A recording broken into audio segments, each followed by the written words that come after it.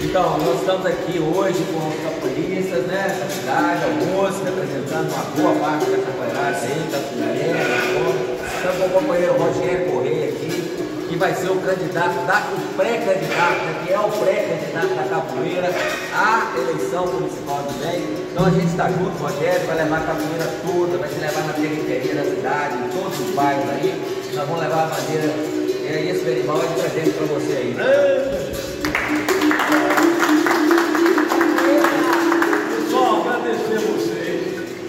Agradecer ao Dimas. O Dimas é nosso professor e é também capoeira pura, já tem mais de 25 anos dançando a capoeira. O Dimas é candidato, pré-candidato a vereador também na nossa chapa. E a gente quer fazer o compromisso claro com vocês pela cultura e pela capoeira. É muito importante ter na Câmara alguém que vai fazer defesa daquilo que vocês.